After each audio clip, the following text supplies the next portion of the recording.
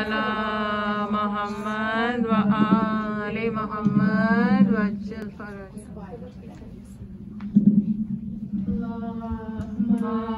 صل على محمد وآل محمد وجل فرجه Surah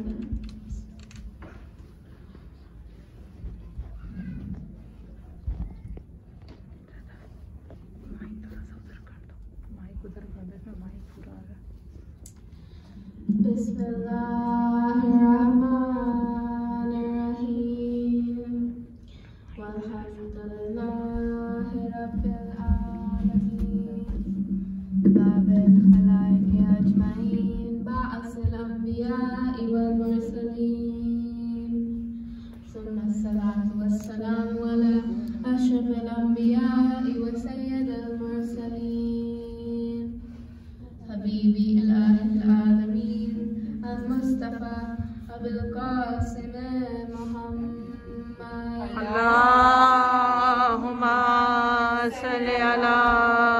محمد وآل محمد وجل فرج. وعلى آله الطيبين الطاهرين المعصومين المنتجبين الذين أذهب الله عنهم الرجس وطهرهم تطهيرا اللهم صل على محمد وآل محمد وجل فرج.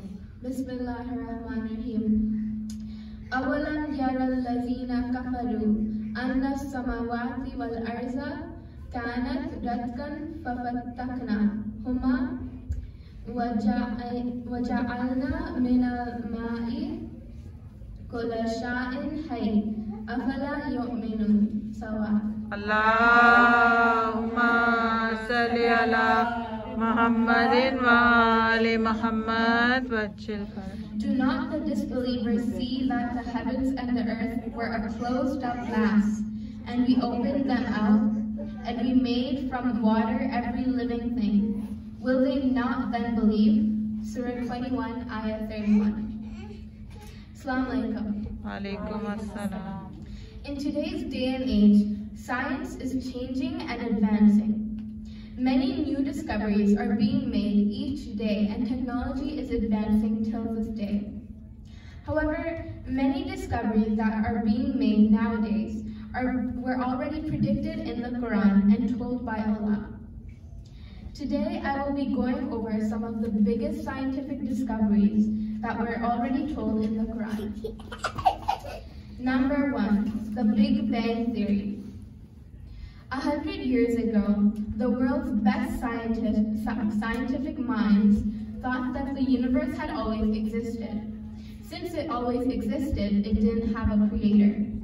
However, a man named Einstein made a discovery that the universe actually came from somewhere, and that something or someone created the universe. With Einstein's idea, scientists came up with the Big Bang Theory. However, in the ayat that I just recited, it explains how Allah opened out the universe.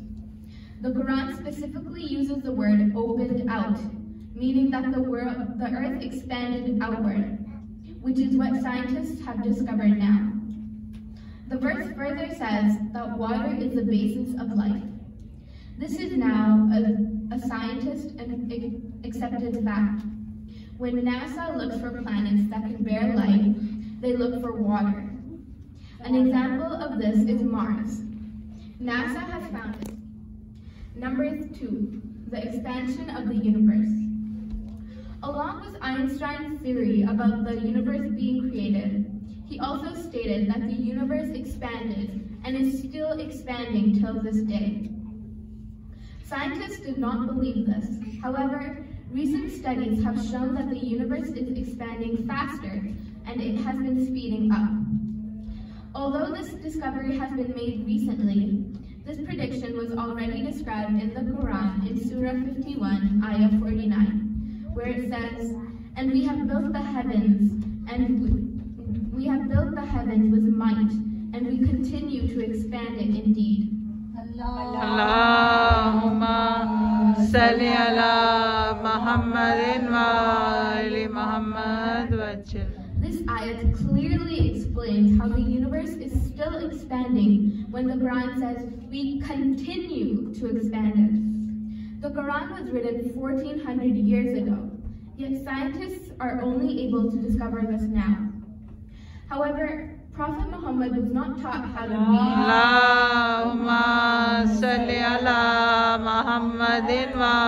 Muhammad. Yali.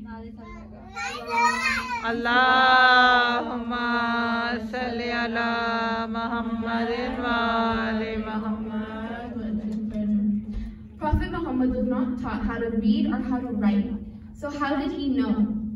This shows that this message is from Allah and that he is the all-knowing and that Islam is the true religion. Number three, number three, extraterrestrial life. On April 16, 2020, NASA discovered a planet that is extremely similar to Earth. NASA calls it Kepler 452b. This planet looks extremely similar to Earth and most likely has water. NASA predicts that there are aliens or other human-like creatures on this planet, as it has water, and looks extremely similar to Earth. This planet also revolves around a sun-like star, and also has similar temperatures to Earth. It most likely carries extraterrestrial life, meaning aliens or other human-like creatures. The Quran explains how there are other hu- human beings and living beings among us in this ayat. And among his signs is the creation of the heavens and the earth, and of whatever living creatures. He has spread forth in both, and he has the power to gather them together when he pleases. Surah 42, Ayah 30. Number four, the process of how people were created. When x-rays and scans were created, we got a deeper look into how eggs de- develop in the womb and the process. However, in Surah 23, Ayah 13 to 15, Allah describes the process explicitly, how man was created from clay and how it forms into a human. Every step is explained, and only recently have they found this information. This information would be impossible to find in Prophet Muhammad's time.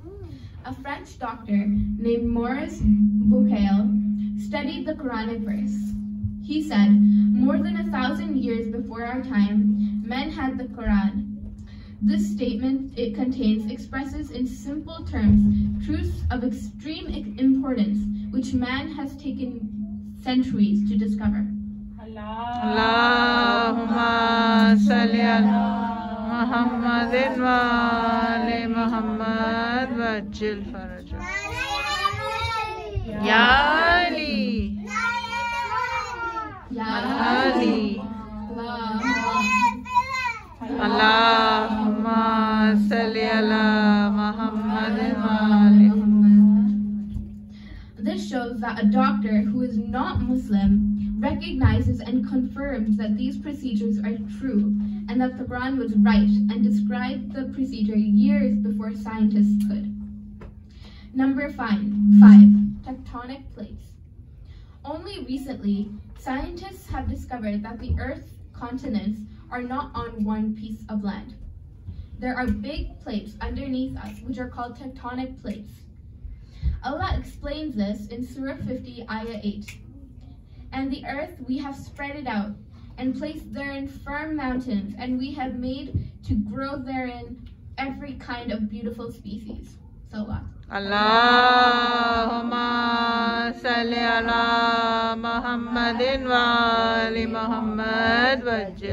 In verses such as this one, the Holy Quran tells us that the earth has been spread out.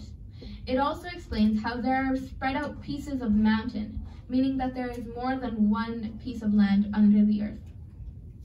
It is extraordinary that so many of these remarkable scientific discoveries of the last 100 years, from discovering the biological processes in human development to unraveling the Big Bang Theory and the expansion of the universe, We were told these facts 1400 years ago in the Holy Quran. However, we need to realize that for all of these resources and the Quran and Hadith to come to us, there were big sacrifices being made. These sacrifices include Imam Hussein's battle in Karbala and sacrificing his whole family for us. One of the biggest sacrifices include the sacrifice of Bibi Sakina. After the Battle of Karbala, people would slap Bibi Sakina and hurt her. They would snatch her earrings and rip her ears. Imagine a four-year-old girl, her ears bleeding, her clothes on fire, and her father being killed. These oppressors did not take any pity on her. And after the battle and after the battle of Karbala, Shimr came up to Bibi Sakina. She got scared and said, please don't hurt me. My dad is Imam Hussein. Ask for anything and I will give it to you. Shimr told her that he wanted her gold earrings. Bibi Sakina brought her hands to her ears and put them down again. Then again she brought her hands to her ears and put them down again. Shimr got impatient and asked why she was taking so long. Bibi Sakina said, Shimr, I don't know how to take off my earrings. Then Shimr snatched her earrings and ripped her ears. But that wasn't all of the sacrifices that this four-year-old girl went through. When they were boarding all of the women onto the camels, Shimr came and said to put Bibi Sakina on a camel at the back alone. After traveling for hours, the head of Imam Hussein would not move. Shimr told Imam Sajjad to make the head move, or else he would whip him. Imam Sajjad asked what was wrong, and Imam Hussein's head replied, Oh Sajjad, how can I move? My Sakina has fallen down. Imam Sajjad and Bibi Zainab went to find her. But Shimr got impatient and he got mad and went to find her first with his whip. Hussein.